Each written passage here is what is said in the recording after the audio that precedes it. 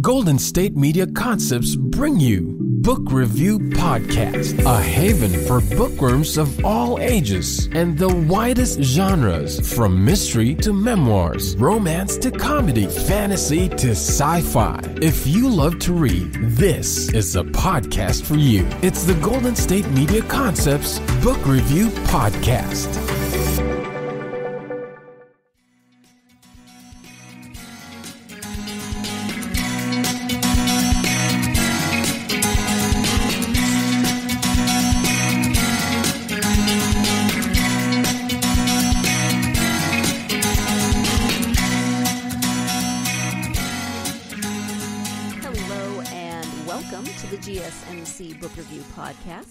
You by the GSMC Podcast Network.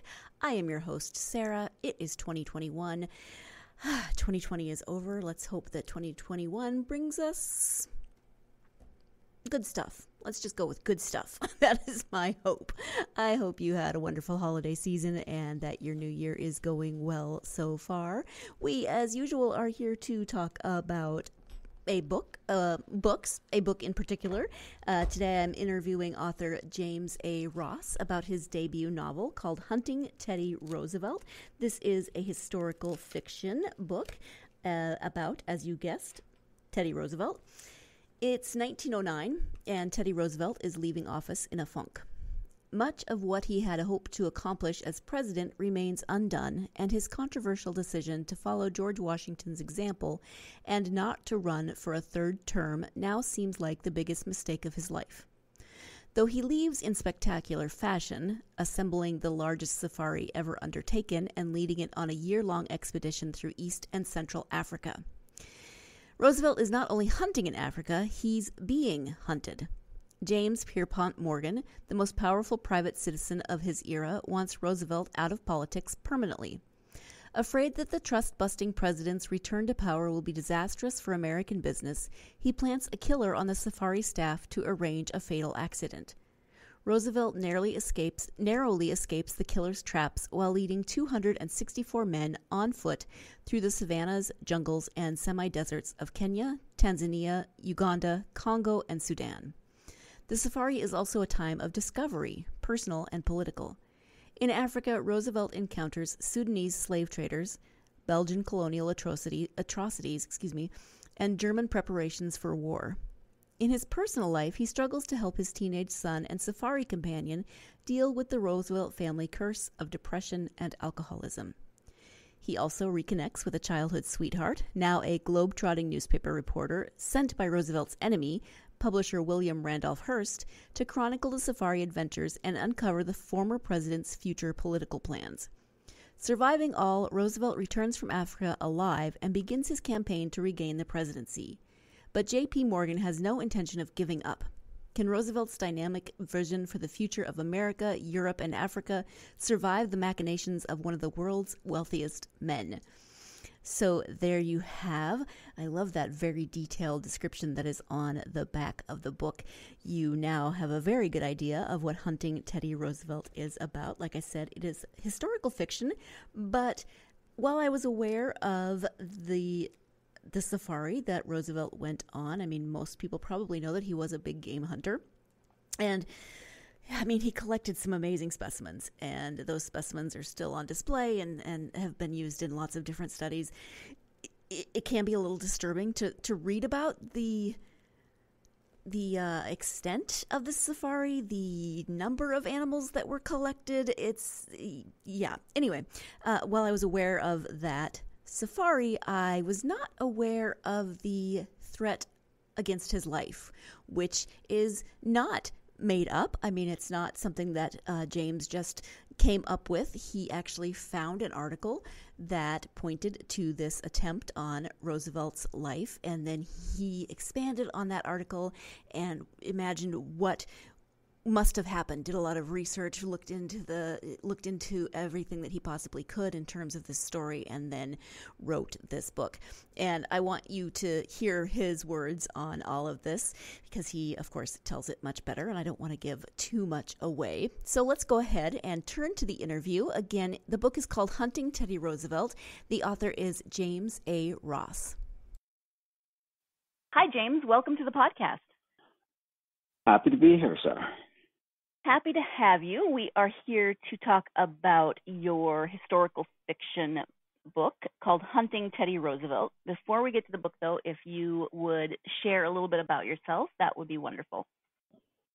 Well, uh, at various times, I've been a uh, Peace Corps volunteer in the Congo, uh, CBS News producer, a low level uh, uh, aide to uh, Illinois congressman, a Wall Street lawyer, and now I am a debut historical novelist.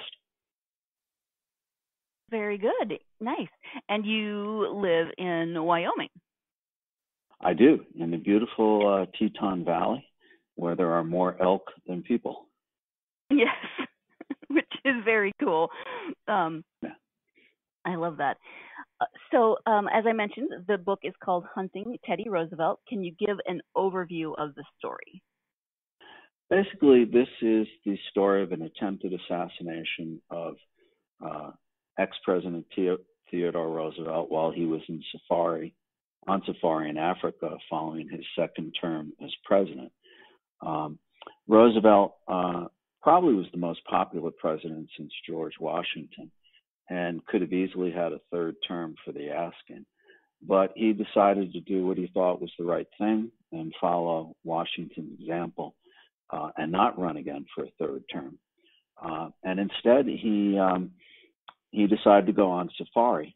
Uh, there were no presidential pardons or pensions in those days, so Roosevelt, once he left office, had to make a living, and he um, he signed a contract with Scribner's Magazine to do a series of articles chronicling the, the safari. The purpose of which was to collect um, specimens of African game animals for the Smithsonian Museum and the New York Museum of Natural History. What Roosevelt didn't know, and that's really what this book is all about, is while he was uh, hunting, he was also being hunted. Uh, there was an assassin to uh, uh, make sure he did not return from Africa alive. And um, uh, fortunately for history, the assassination attempt then, as well as one later, uh, when he returned to the States and ran again for president in 1912, were both unsuccessful. Uh, but this is the story about the first attempt, and the reason I decided to write it is so many people uh, don't know about it. It's uh, not in history books. It's not in the various Roosevelt biographies, and uh, the answer to the question why is equally as fascinating as the uh, the assassination attempt itself. Yeah, why why isn't it, it more well known? Um, it, it was mentioned that there was a small article in an Italian newspaper, and that was pretty much the only press it got. I mean, you'd think it would have been bigger news. Uh, yes, and you know when I ran across it, um, it, it raised all sorts of in- interesting questions. Uh, one, of course, is why isn't it in the biographies, and why was it in uh, isn't in any of the uh, English language newspapers. You know, who who would who would have and would have had the power to suppress it? That's one question. The other, equally interesting, is why send an assassin to try to kill an ex-president uh, who's on his way to a part of the world that, in those days, would you know probably do him grievous harm anyway. This is you know before uh, penicillin, uh, uh, 911 and, and, and so on and so forth. And this guy is off in the jungle of Africa for, for a solid year, totally out of communication with the civilized world. Uh, he may very well not come back alive anyway. So why send somebody to kill him? And uh, you know, hunting Teddy Roosevelt is an answer, attempt uh, in the form of entertainment to answer both questions. Um, as far as why it's not in history books, my theory is that um, um, most of the uh, American newspapers that had um, the resources to um, uh, have international news coverage at the turn of the century were all controlled by William Randolph Hearst. And um, Hearst himself uh, intended to run for president in 1912 And looking at the coverage in the Hearst newspapers, including the International Herald of in 1909, you see the coverage of the Roosevelt Safari is all about um, slaughter of you know game animals. It, it, it's designed to make um, Roosevelt looked like a uh, animal killing buffoon as opposed to a serious politician. And my belief is that Hearst simply suppressed the story in an and, and other stories in, in order to deny Roosevelt the kind of coverage that would enable him to come back from the safari and run as a credible candidate for president again. The second question, of course, um, you know, who would have tried to kill an ex-president um, is a bit more difficult to answer. Um, you know, sadly, uh, in modern times, we're all too familiar with the assassination uh, of or attempts on the life of uh, politicians running for office or you know sitting presidents. But you know, in 1909, Roosevelt is, um, in essence, a political has-been of his own choice, uh, and he may not return. So, who would want, who would expend the effort and resources to um, to try to make sure he doesn't come back from Africa alive? Um, that's why Hunting Teddy Roosevelt is fiction as opposed to nonfiction, because my answer is, um, in truth, speculative um, my prime candidate is J.P. Morgan. Uh, it's pretty well documented that Morgan and others bought the uh, Republican convention of 1900 that nominated William McKinley. And McKinley, as a sop to the Tam- Tammany Hall, uh, added Roosevelt as his vice president, even though Roosevelt was at the opposite political spectrum within the Republican Party. McKinley was pro-business. Uh, Roosevelt was very progressive in, you know, in the uh, in the modern sense. Well, unfortunately for the folks who bought the convention, McKinley was assassinated six months into his term, and they got Roosevelt for the next seven and a half years, which was not what they paid for. Um, in fact, he spent Roosevelt seven and a half years um, breaking up uh, business monopolies, then known as trust, trusts, and basically being a total pain in the neck to uh, J.P. Morgan and others, you know, around Wall Street. So, uh, if you ask who would benefit from Roosevelt not coming back from Africa alive to run for president again, uh, the answer is pretty straightforward. The, the folks whose uh, lives and pocketbooks were impoverished by uh, Roosevelt's uh, administration. Yeah, it's it's all fascinating, and it's just like I said, amazing that we don't we don't hear more about it and on that uh, little bit of history, not very well known history, we are going to take our first break. And when we come back, James will be talking more about where he found this story, how it germinated the idea for the book. So stay tuned. You're listening to the GSMC Book Review Podcast, and I will be right back. You want to be healthier, yet you just don't know what to do. All these shows telling you this and that, but nothing seems to work.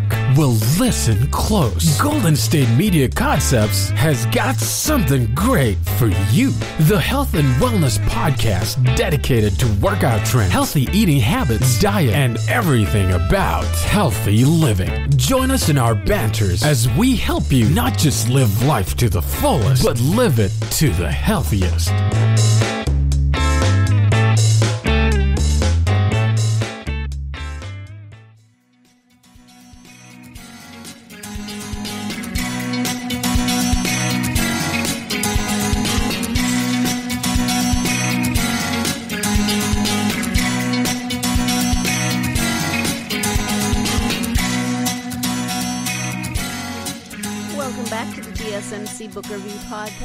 I am enjoying some historical fiction talk with author James A. Ross about his debut novel, Hunting Teddy Roosevelt. Before the break, we were talking about um, what the why Teddy Roosevelt was not only hunting but being hunted. And so let's go ahead and return now to that interview. Where did you first come across the story, and was that your jumping off point for the book? Um, the jumping off point for the book was uh, a meeting I had with my then agent. Uh, to uh, w- was supposed to be a um, a book signing for a murder mystery I had written, and uh, at the last minute, the uh, the publisher called and backed out.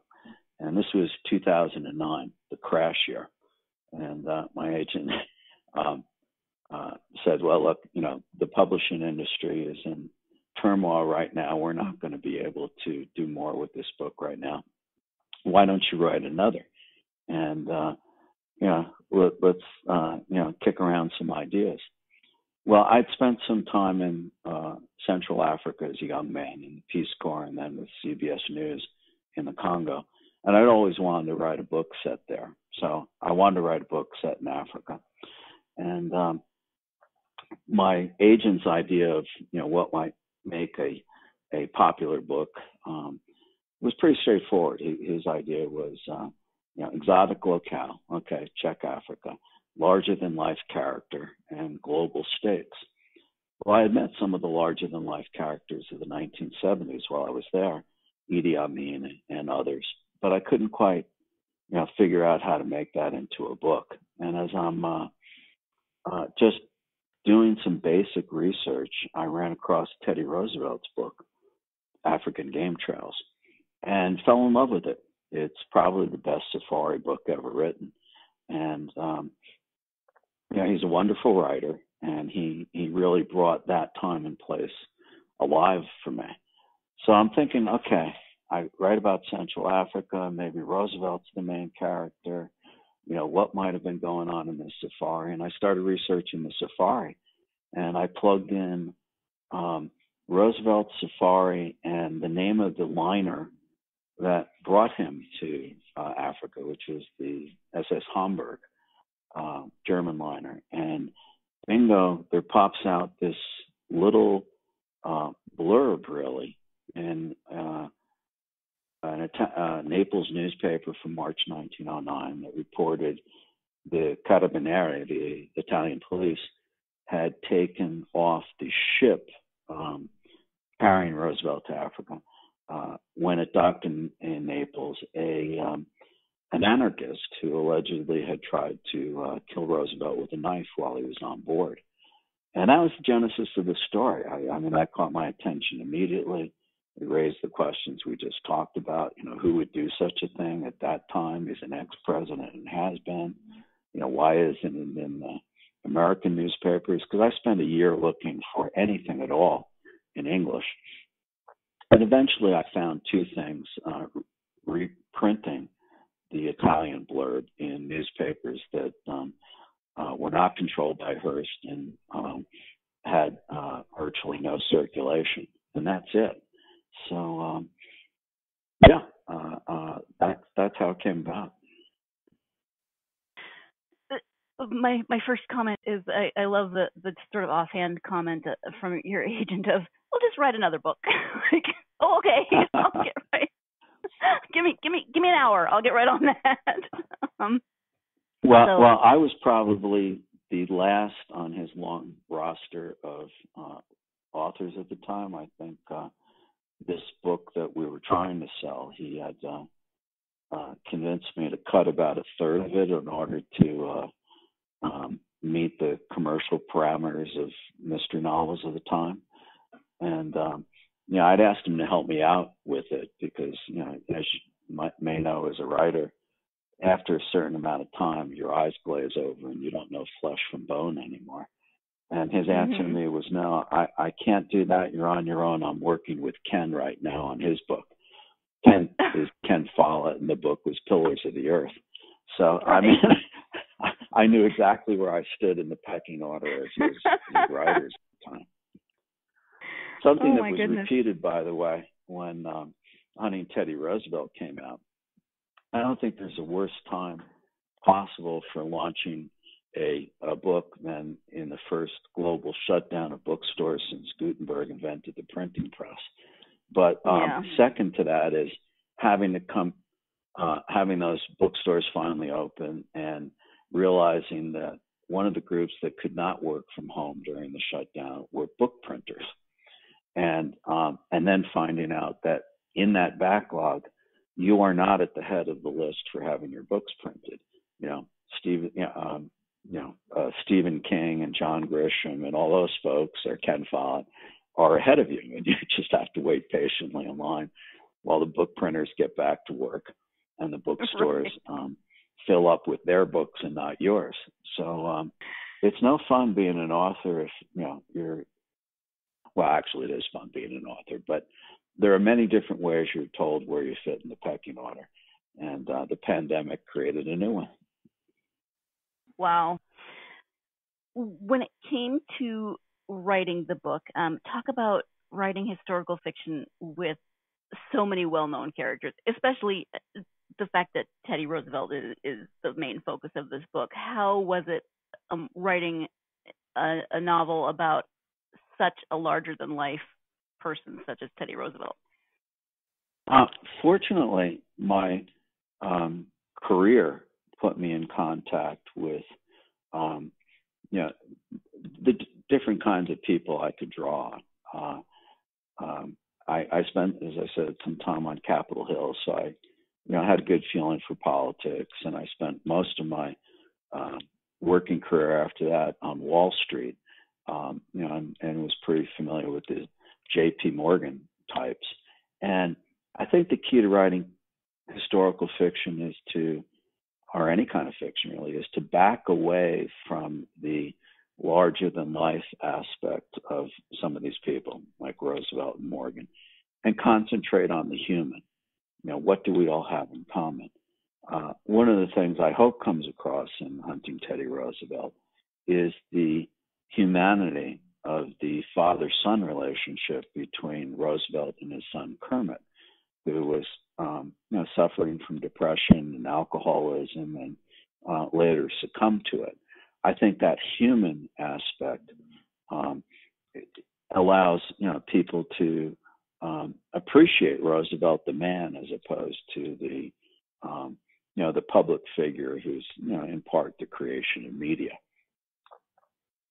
And I think that's that's true of all historical fiction. You may be dealing with larger than life characters, but the key to making them real and uh, understanding them is to focus on their humanity and what they and we have in common. Yeah, thank you. And um, yeah, just that bringing that relationship in to the the story, I think really really does help because it's it's a larger than life character. It's also this really grand epic safari. I mean, just the scope of the safari is amazing. Um, I, I, can imagine it would have been easy to get caught up in just in, in trying to describe everything that happened on that safari. Um, so I, I think bringing in that that relationship was was really key. As we head into our second break of the podcast, I will just say that I've I've said before that historical fiction novels that include real life characters, whether that's just a cameo, whether they have a fairly large role, whether, I mean, it's clearly about Teddy Roosevelt in this one, that's a pretty large role.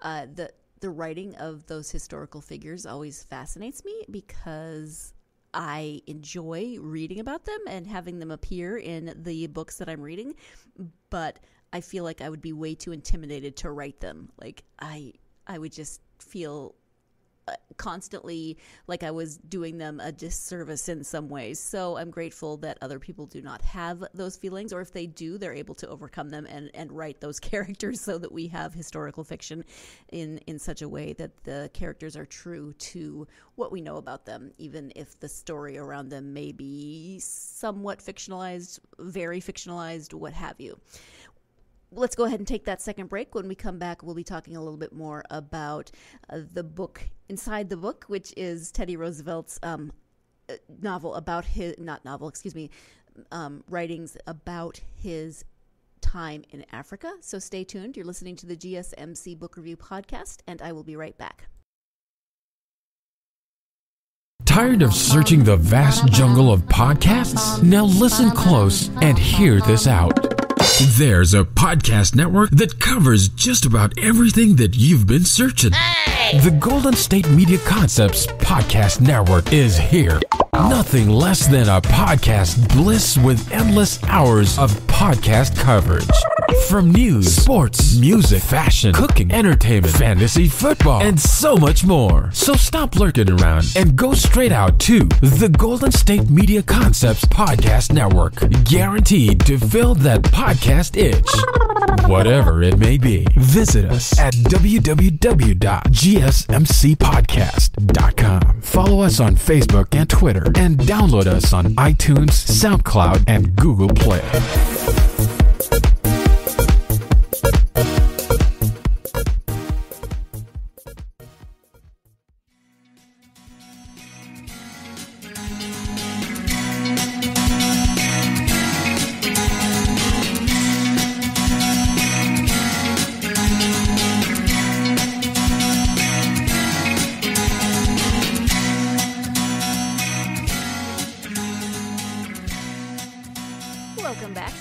GSMC Book Review Podcast. I am speaking with author James Ross about his book, Hunting Teddy Roosevelt. Before the break, I tried to say the name of Teddy Roosevelt's book, and I ended up stumbling all over that. it was actually called African Game Trails, and that is where we pick up with the interview. You mentioned Roosevelt's book, African Game Trails, which I'm sure does describe the, the scope of that safari how did that book then influence or inform the writing of, of your book? I used it as the um, skeleton of my book. Basically, it follows uh, Roosevelt Safari from, uh, you know, British East Africa, you know, what's um, now Kenya, Tanzania, Uganda, um, and um, you know, he spent a year on foot. You know, 264 men um, carrying 40 bundles on their head, walking across uh, Kenya, Tanzania, Uganda, Rwanda, Burundi, the Congo, and the Sudan, and having you know, adventures along the way. I used Roosevelt's uh, book and and his itinerary, and even many of his descriptions of the hunting scenes, um, and told the understory. Uh, basically, while he's you know, focused on his mission of collecting uh, animals for the Smithsonian and the New York Museum of Natural History. What's going on below the surface are one, somebody's trying to kill him, but two, and perhaps more importantly, um, he's realizing uh, as he encounters the complex um, political situation in Africa at the time, which mirrors the preparation for uh, uh, what was to become World War One in Europe, uh, he realizes that he has to come back and run for president again. There's just what he sees in, in the Congo, with, um, you know, genocide on the scope that rivals the Holocaust. Uh, he sees in, in Germany, East Africa, obvious preparations for war, um, and you know, comes to the conclusion that uh, um, he needs to play a role. He needs to come back and uh, lead America again, and perhaps um, redress the colonial atrocities in Africa and broker a peace between England, France, and Germany involving a readjustment of their colonial empires, which would uh, uh, hopefully avert World War One. And of course, had he been able to do that, you know, the world would look different today. If uh, know, he came very close to winning the election in 1912. If he had, I doubt there would have been a World War One. And if we didn't have World War One, we wouldn't have had World War Two. And without that, you know, uh, China or Japan, not China, would be the dominant power in Asia, and the Middle East would not look as balkanized as it is today. And the place of the U.S. in that new world would be entirely different. Now there's a there's an alternate history book if I've ever heard one. Um, how long we came very close. Hmm? Yeah, yeah. How long did you spend researching before you wrote the book? Uh, two years. Okay. So it was probably and, two years of research and two of writing. Okay, that is impressive what are you working on now? Um, I just signed a contract for a three book um, mystery series. Uh, coincidentally, the first book in the series is the one that uh, uh, my ex agent wasn't able to sell in 2009. Uh, it's called uh, Coldwater Revenge. It's uh, coming out in April of, I guess it's 2021, about five months from now.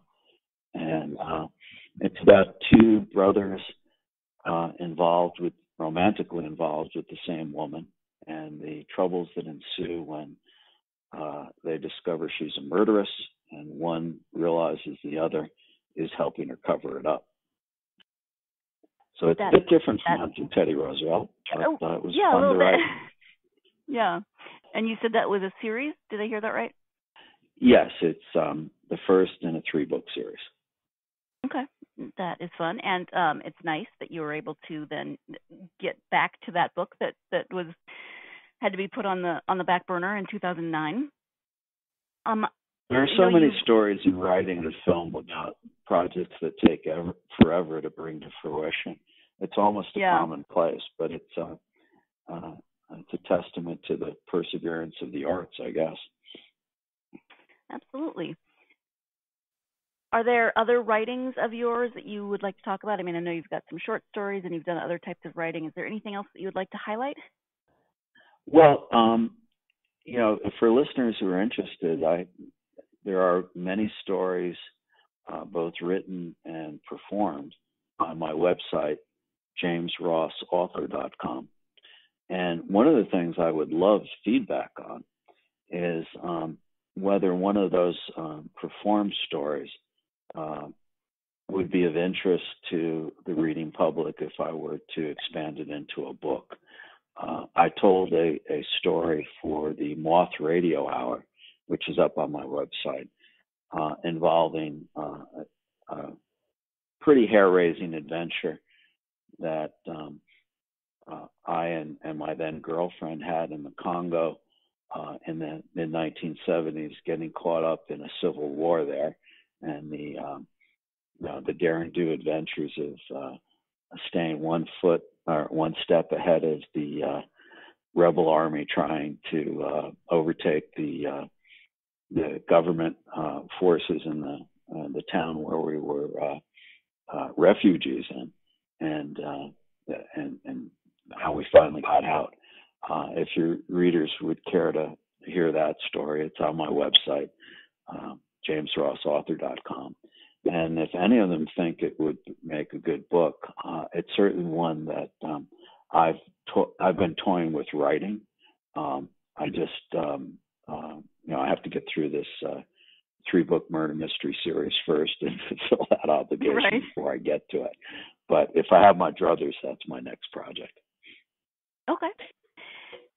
You have had a very interesting career path. Um, how when blah, sorry, when did you start writing, and is it something that you you'd always wanted to do? Well, my my um, you know dinner party response to that question is I I wrote my first book in college, and I published my first one the same year I started collecting Social Security. So there was a long gap in between. Um, again, you know, the arts are not for the faint of heart. If you um, if you've got the itch, you're going to have to scratch it, whether you can make a living at it or not. Uh, depends a lot on chance. Um, and you know there can be a long time between when you start and when you finally start getting uh, uh, some recognition. Uh, in my case, it's been my entire adult life.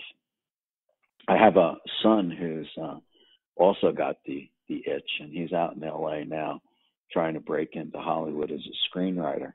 And his worst nightmare is it takes him as long to get traction as it took his dad.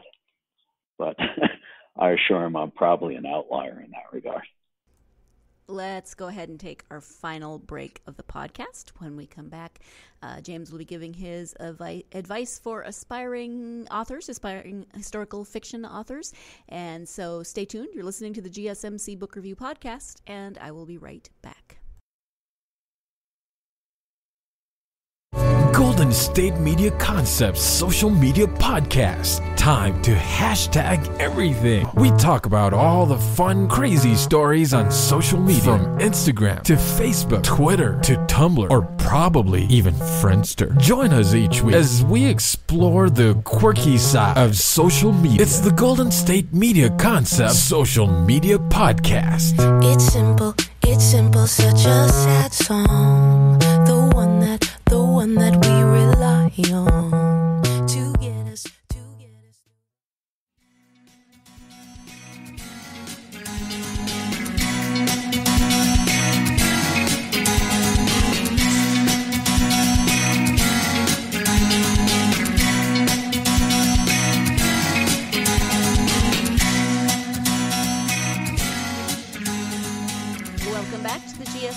Book Review Podcast and the conclusion of my interview with author James A. Ross.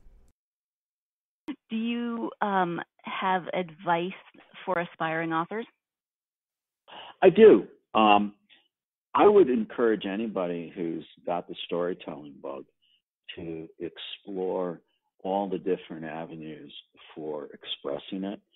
Um, I improved my own fiction writing greatly when I uh, discovered uh, oral storytelling, which I now do a lot of at, at different venues. Uh, as writers, you know, we um, there's often a long gap between the the create creative product and the feedback we get on it. You sometimes years, and you know, it's it's the reality for most writers that they can spend months or years on a piece of work uh, and then start sending it out to agents or, or publishers um, only to get the feedback of um, you know thanks but no thanks with nothing more you don't know why you don't know what's not working you know and so on and so forth in oral star- storytelling you get you not only get feedback you get immediate feedback you know you're up there on stage you're got a, uh, a live audience in front of you. They're there to be entertained. You tell your story, and you know within a half a minute whether um, uh, you you've got you've hooked the audience or not. And um, and sometimes you know why. I mean, one of the things I learned uh, early on in my storytelling was not to make an assumption that your audience um, gets your cultural references. Um, and this is particularly useful in um, for writers of historical fiction. Uh, you know, one of the challenges of, of hunting Teddy Roosevelt was uh, um, to cram some history into the book without slowing down the narrative. And uh, but I realized I would have to cram some history into it because I couldn't assume that everybody uh, knows who Teddy Roosevelt is or what his story was about. And I learned that through oral storytelling. I, I was up on stage uh, at a bar here in Wyoming, and I was telling a, a story from my youth. So it was set in the Vietnam War era, and I referred to Ho Chi Minh. And I looked out at the audience, and I realized, you know, as an audience of, you know, work the working folks of Jackson, Wyoming, who are out for an evening's entertainment. So they're all in their 20s and 30s. And I realized they don't have a clue who Ho Chi Minh is. They probably think it's a, you know, it's an entree at the local Thai restaurant. You know, not realizing it's the uh, uh, name of the leader of Viet- North Vietnam during the war. So um, you learn you learn things like that in oral storytelling. Okay, you can't assume your audience knows the history you got to get it in there.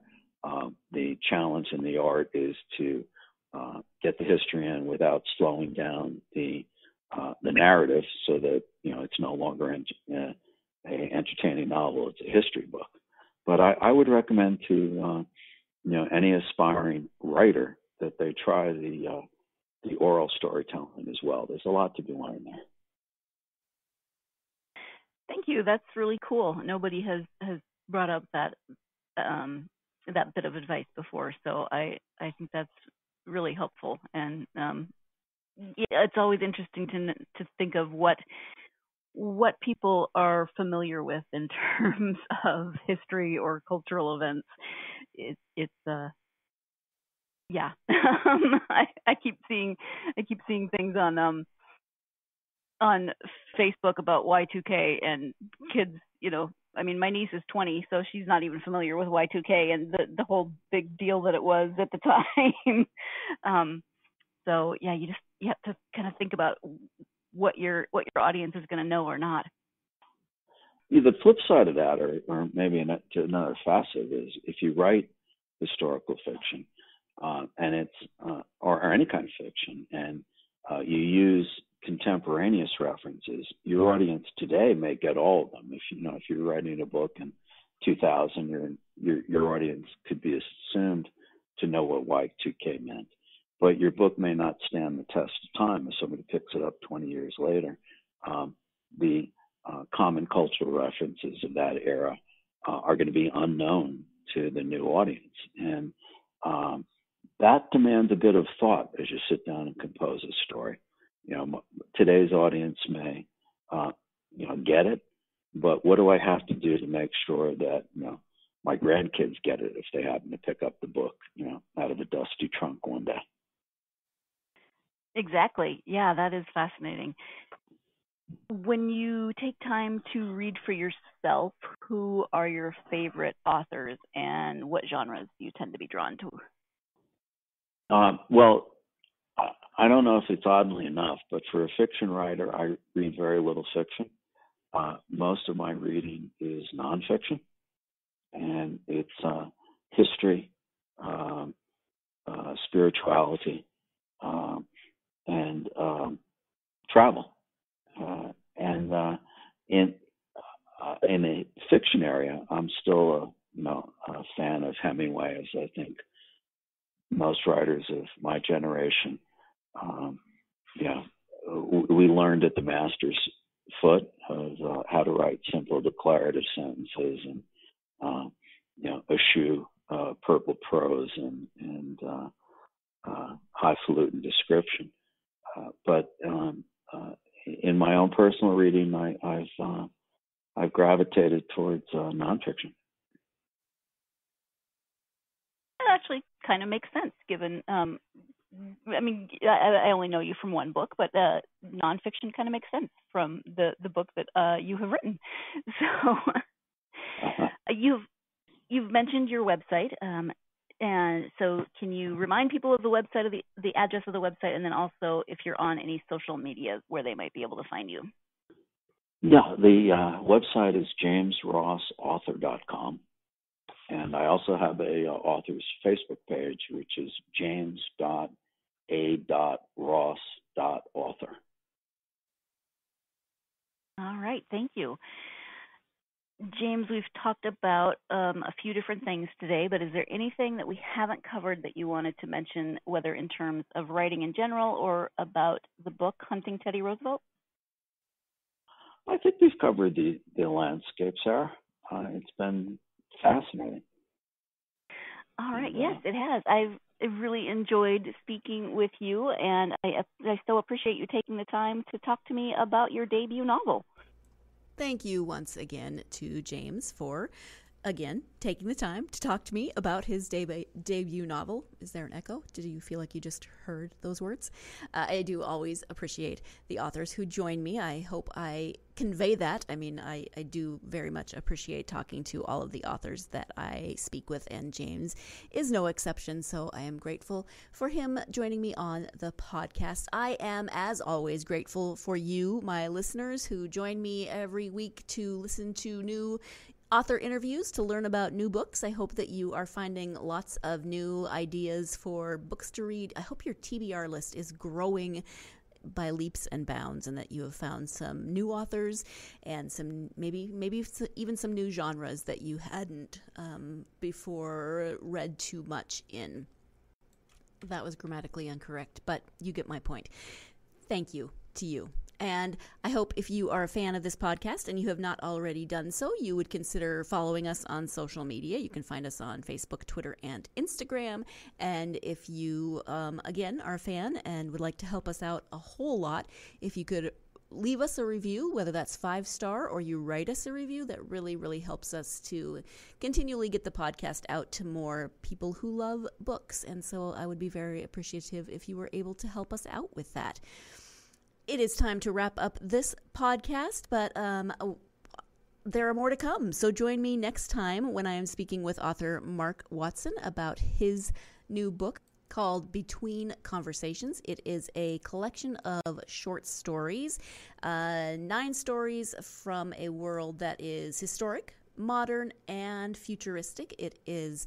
Um, sci fi fantasy in that genre. So join me for that conversation.